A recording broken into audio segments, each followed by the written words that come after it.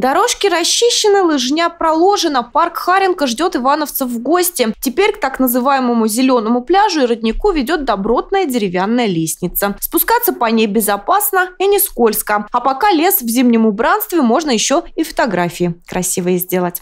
30, 31 и с 1 по 7 обязательно детские мероприятия ежедневно будут проводиться. Кроме того, что будет работать, естественно, и а, прокат лыж, сноутюбов. А, то есть э, прийти можно э, просто налегке, экипироваться здесь э, и отдыхать. Есть в парке прокат сноутюбов. В будни на горке народу немного. В праздники, скорее всего, будет очередь из желающих прокатиться. Мне нравится в этом парке. Я бы хотел бы, чтобы он тут всегда оставался. А горка как? Расскажи. Мне кажется, с нее страшно кататься. Нормально.